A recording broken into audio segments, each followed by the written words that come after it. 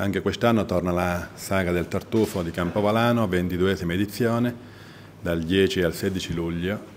Vi aspettiamo tantissimi con nuove novità di situazione della sagra, abbiamo cambiato la situazione. Le, le, ricette speriamo che eh, siano gustose come gli altri anni e gradite da tutti. È sempre un evento molto atteso nel, nel territorio.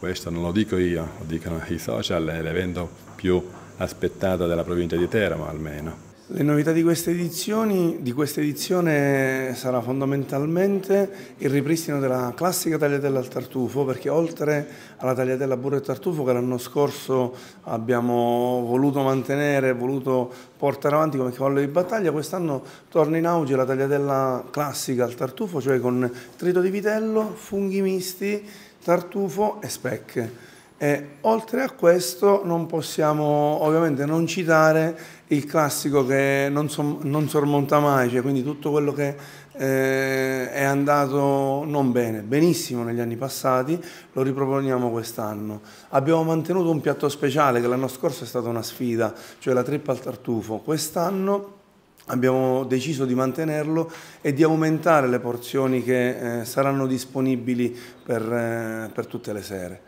Oltre questi piatti eh, possiamo trovare dai piatti da forno, quindi parliamo di lasagne bianche al tartufo, cannelloni stile Rossini con una farcia al tartufo, crepe eh, al tartufo, le ultime che ho appena citato sono vegetariane.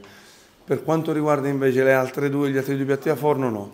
Altri piatti vegetariani che abbiamo per l'edizione 2023 eh, c'è la tagliatella burro e tartufo, c'è la burrata al tartufo, e altri piatti vegetariani purtroppo quest'anno non ne abbiamo, però ci stiamo attrezzando per realizzare una cucina per piatti speciali che cercheremo di eh, inaugurare per l'edizione 2024. Come ogni anno oramai siamo abituati a eh, dare il nostro contributo per valorizzare la necropoli, per cui avremo un'apertura straordinaria da lunedì a domenica e sarà possibile non solo effettuare le visite guidate ma in concomitanza avremo eh, ogni sera un qualcosa di particolare, tipo musica gitana, musica eh, medievale, avremo una serata dedicata all'osservatore, all'osservazione astronomica.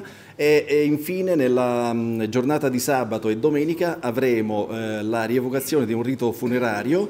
E inoltre sempre nella giornata di sabato e domenica dalle 17 alle 19 sarà possibile mh, mm, far partecipare i più piccoli con attività di laboratorio e quindi didattica con eh, eh, l'utilizzo della ceramica e di altro.